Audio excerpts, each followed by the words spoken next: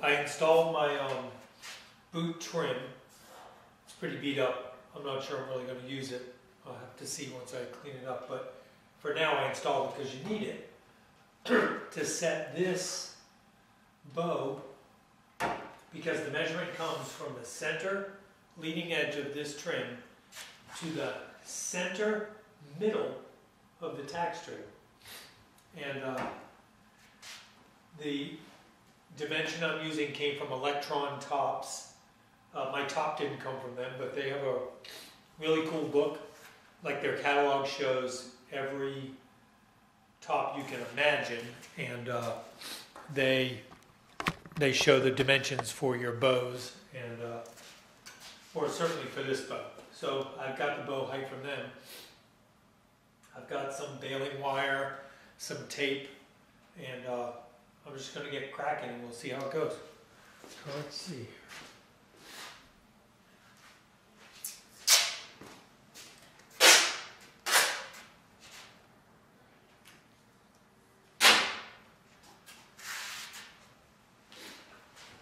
So I'm just going to roughly get it where it needs to be. My dimension is 20 and a half. I'm sorry, 20 and three quarters. So right in the middle. That's more or less 20 and three quarters.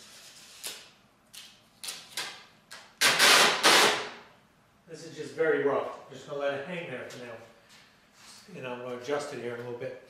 And now I'm going to use the baling wire. If I can find the baling wire, I have it.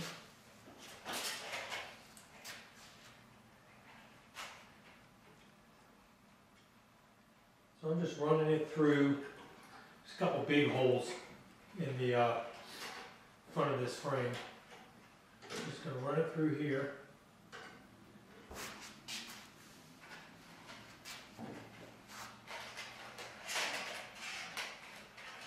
And for now, I'm just gonna wrap it around this, get this pretty plumb. And uh,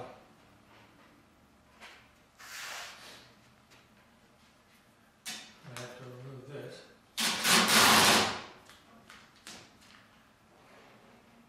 Get that one pretty plumb as well.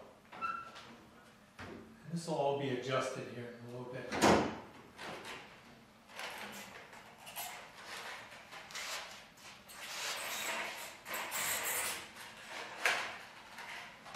Grab some cutters.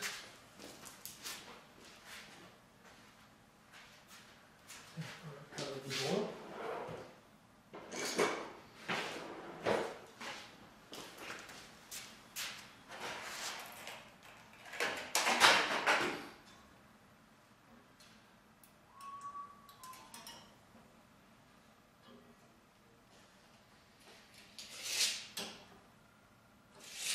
Still pretty good right there.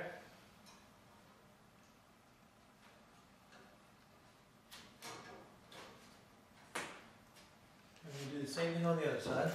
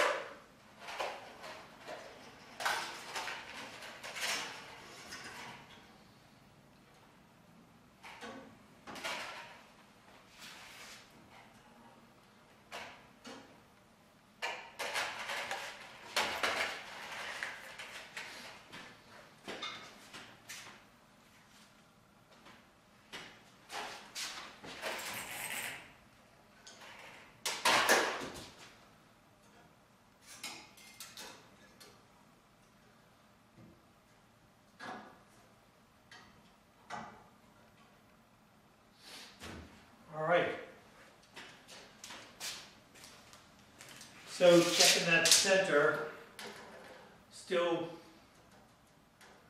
reasonably good. It's more like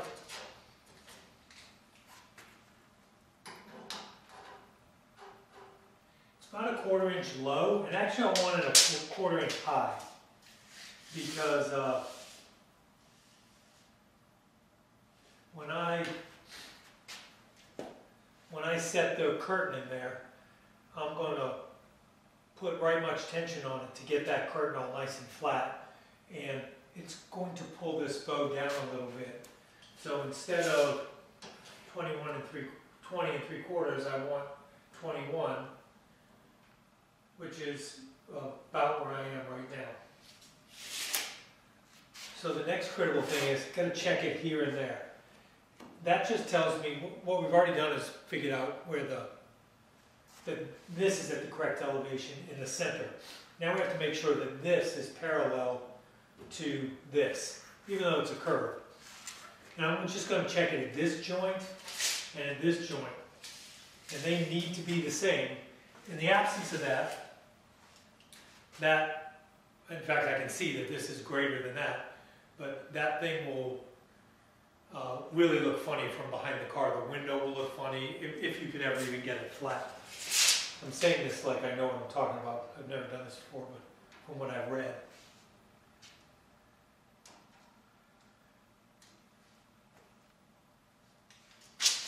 I'm gonna go right from the joint and try to basically go straight up. So to the back edge of that, it's about 19 and three quarters.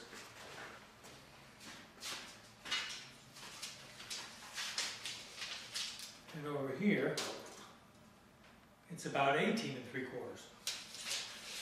So a half inch difference. So what I'm gonna do is, I'm gonna cut two blocks, one that goes in here, one that goes in there. And, uh, it's gonna be a little squirrely to do.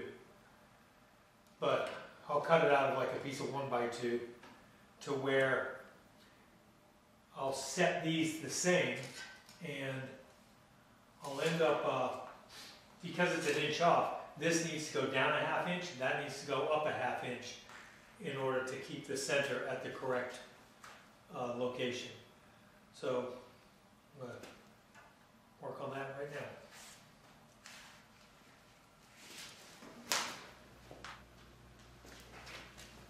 Alright, so I got everything set. got this bow in the right place. These bows I think are in the right place. Uh, they're have a little more room to mess with those than uh, than this. I ran the wire, which is pulling tension back this way, and put these. Had some had an old like broom handle that I cut up, and uh, these are the same. I Had to mess with them a little bit. In the end, I cut them a little bit short, so I had to add a washer to each one of them. But they hold this thing perfectly. So I have the correct measurement from the center up to the center of the middle, and then my measurement from here up and there up are the same. So it's running parallel with the back of the car. So next step are the pads. I'm going to go across here. Uh, I've just got to make sure that the hardware I have for this is going to work. So I'm going to mess with that now and then uh, move on to the pads. All right, I'm installing the webbing. Um, I've already done the passenger side and discovered what works and what doesn't work. So now I'm doing the driver's side. I'm using um, number 832 3 8 inch stainless steel machine screws and um, little stainless steel uh, screw trim, both of which came from like Home Depot. So just in the interest of making them both the same, there's a hole. There's there's several holes here, four of which are used for the screws. That's one, two, three, and four. And then there's two other holes. I'm not exactly sure what they are. But I'm using this hole up here as a reference. And this um, binding, I'm basically centering over that hole. And uh, pull this all out. So I visually center it. I've just got the webbing um, held on with spring clamps on the two bows. So I hold that on there, find the hole with the awl, pretty easy to do, I've already done this one, and then push the awl all the way through. The awl is a quarter inch awl, so uh, it spreads that fabric well enough for me to get the screw through there. And then, okay, well, that's the sound of the screw falling under the car. And I only have four. I gotta find it. All right, here. So then put the screw in the trim. Things are crazy slippery. Pull out that awl.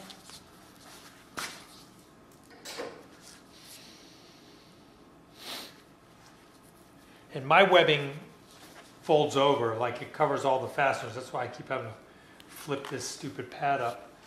But I'll show that in a second. Go grab the right screwdriver.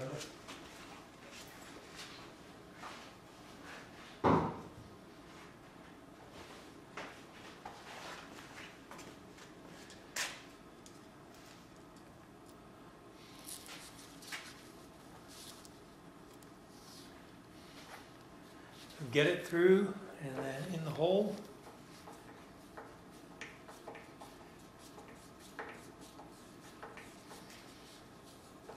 Pretty straightforward. And now I want to find the next hole. And again, I've lined up this webbing with the indentations on the bows so that it's, you know, heading in the, in the correct direction. And uh, I'm not going to have some funky wrinkle when I attach the rest of it, because you do attach the stuff up the front first, everything across this header bow. Now I'm going to do the next hole, which is one, two, three, down here. Actually, I think on the other side I used this hole right here. Check it with a screw.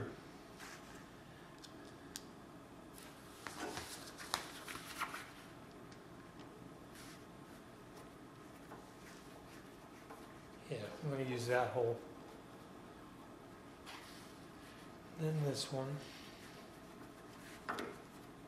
Just making sure all these, I cleaned up the threads on the other one. Haven't done that here.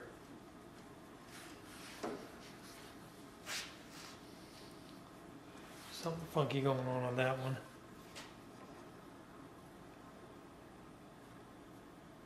I might not be able to get a screw in there, so I might use this hole and then a little bit of glue at the bottom. Yeah, I think I'm going to have to do that. All right.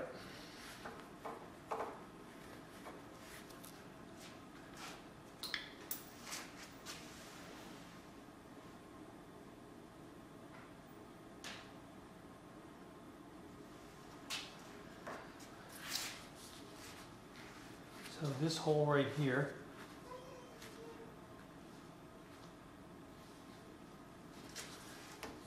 There we go.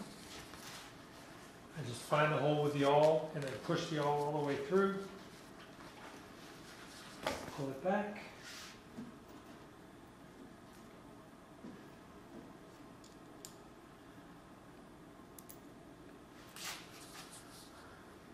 And back through that same hole.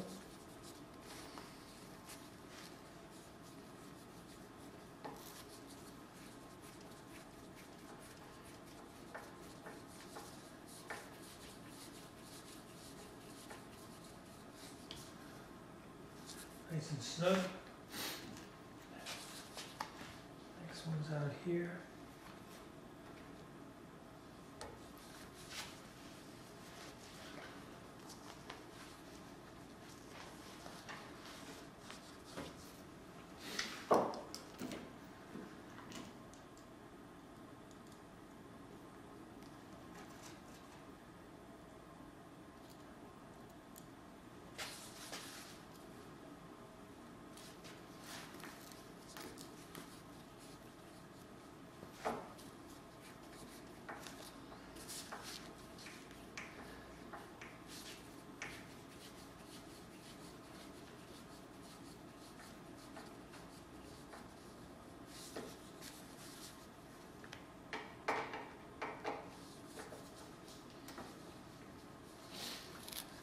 And then last one.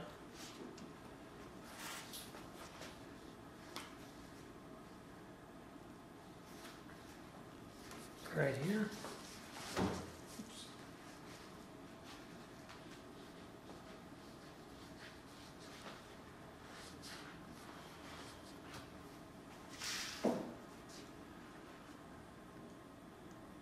And that awl is crazy sharp. Don't drive it through your palm. It'll suck.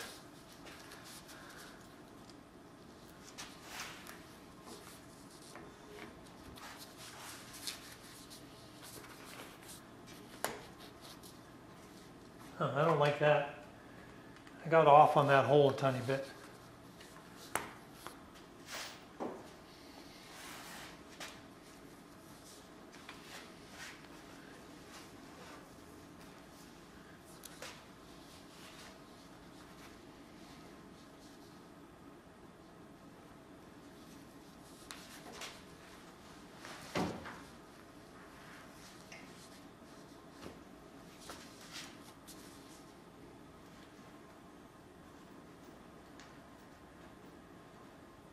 This stuff gets pulled pretty snug down to that last bow, so it um it cleans itself up pretty well from a wrinkle standpoint. All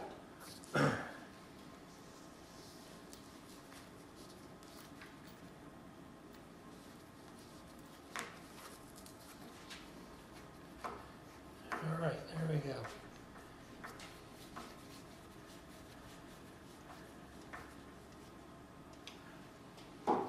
There we go. These four in there, pulling the sucker down. And uh, now I'm going to attach the last one and not the um, not the center two bows. Also, I made a change on my center two bows. Um, I got rid of the I put tack strip basically from here to where the padding indentation ends, even over the little plate that the two screws go in, so that I can staple all this. At some point, some of these, I think all of this year was screws, but at some point they switched and they started uh, using staples on these. I think it's better. I think it's easier to do than the two screws. And the two screws have to be pretty specific types of screws, really, really short screws, because it, they're blind holes. And, uh, you know, I can't buy those screws around here locally. I couldn't find them easily online. So I just decided I'm going with tack strip. That may bite me. We'll see. But uh, I think it's going to be okay. The other thing is I, I did the other side over here completely. And uh, the bows were really not in a good position. Um, I found some information about, and I'll put a link to it uh, in the bottom or in the description, but I found some information where you measure from the trailing edge of the header bow to the leading edge of bow two, and then the trailing edge of bow two to the leading edge of bow three. So I found something that gives dimensions, and I'm going to try to set it by those instead of the other method, which was just sort of put them vertically. But what I found is when I laid my top on here, it didn't line up with the pockets for the bar that goes through here. And it was off too much. And the bows kind of looked a little funny. So I'm going to try something a little different. But for now, I'm going to attach this at the back because I do have the back set perfectly. I had to redo all my wire because it was wrapped around these. So I had to reset all that after the passenger side pad was on. Um, the other thing is my pads came with a, um, it's got a pad under here that is the same material as the top. And then it has a, uh, a bound edge and it had another bound edge down here. And then what you do is you, you staple it all on, then you lay down this foam and glue this uh, on the upper side of the bound edge. So from underneath, you just see two bound edges. And you don't have any fasteners touching the bottom of the roof of the top material. But uh, mine were too wide. And uh, I'm not sure if they sent me the wrong ones or whatever. I called uh, convertible top guys. He seemed very concerned about it because he's he's convinced that these are the pads he sends with every Mustang of this year, and he hasn't heard back from anybody. But it may be that other people know something I don't know, or they just run them up higher. And uh, he said to just run them up higher. I just don't think it should go past this indentation on the bow, because that indentation is to make up for the thickness of this, so that the top comes across here smoothly. So I just cut mine. I um, it looks funky right now, but I laid it down here, got a chalk line, cut it, glued it, folded it over, and um, and then I'll trim this. So in the end, it'll be like that, which is not terribly attractive from the top, but from the bottom side, it'll be a nice, clean, uh, turned edge, so it'll look bound. Not that you can even see it, because it all takes place above this frame until you get in the very back, and then uh, you know if you stuck your head up under there, you probably could see it. But but anyway, just in the interest of making it clean, I've done that. So now I'm going to uh, get to work on stapling the other end of this and then trimming it all up and sorting out where the bows go. So I know that this bow is right. It's really solid. I'll check it once again just to be sure. So I've got about 21. My measurement is supposed to be 20 and 3 quarters, but I've got 21 from this trim to the center of the middle of this. And that's so that when I put tension on this window, it's going to pull it back down a bit. I'm going to allow it to pull back down a bit. And then to make sure it's square, I check right at this dent. And I've got 19 and a half here, I've got 19 and a half there. So I know that this is all running parallel to the trim and, you know, basically to the back of the car. So I know this is where I want it. I don't know about the two middle bows. I'm going to uh, little tension on this thing.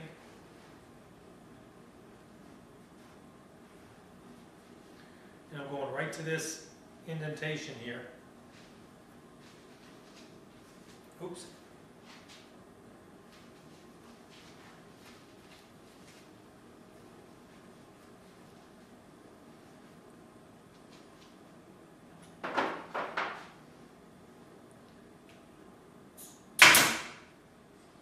Just one staple, just to check it. It's pretty clean. Now I'm going to put a little tension down and away.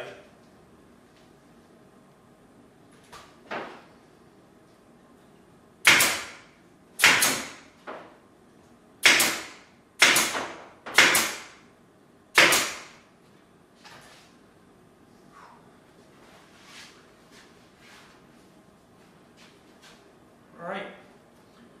Now for the bows.